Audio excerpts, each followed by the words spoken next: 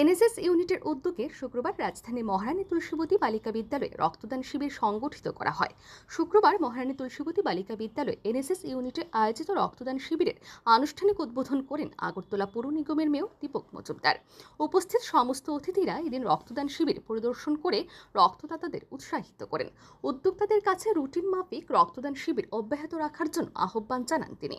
এদিন মেয়র বক্তব্য রাখতে গিয়ে বলেন রাজ্যের সরকারিভাবে যে বারোটি ব্লাড ব্যাংক এবং দুটি বেসরকারি ব্লাড ব্যাংক রয়েছে তাদের রক্ত স্বল্পতা দেখা দিয়েছিল। তখন মুখ্যমন্ত্রী রাজ্যবাসীর কাছে সমস্ত অংশের মানুষকে রক্তদানে এগিয়ে আসতে আহ্বান জানান। সেই আহ্বানে সারা দিয়ে মানুষ রক্তদানে এগিয়ে এসেছে বলে জানান মেয়র দীপক মজুমদার।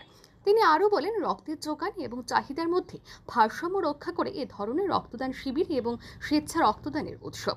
রক্তের কোনো ধর্ম নেই, এ ধরনের কর্মসূচি আগামী দিনের অব্যাহত রেখে রক্তের সংকট নিরসনে বড় ভূমিকা পালন করতে আহ্বান জানান তিনি।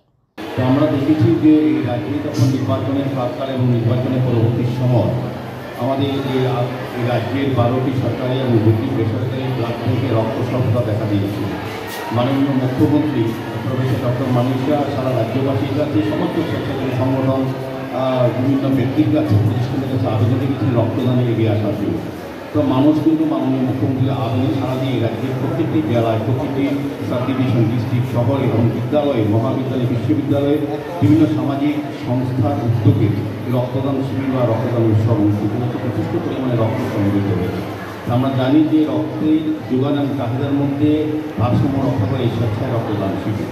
তো আজকে যারা রক্তদান শিবিরে রক্তদান করছেন, আমি বলব তাদের জীবনের শ্রেষ্ঠ কর্ম এবং মানব ধর্ম হিসেবে পালন করছেন আজকে তারা। কারণ আমরা রক্তের বিকল্প এখনও কিন্তু আমরা তৈরি করতে পারি রক্তের বিকল্প হচ্ছে মানবতা। এদিন শিবিরে পনেরো জন স্বেচ্ছা রক্তদান করেন। এদিনের অনুষ্ঠানে এছাড়াও উপস্থিত ছিলেন কাউন্সিলর রত্না দত্ত, স্কুলের প্রধান শিক্ষক সহ অন্যান্যরা।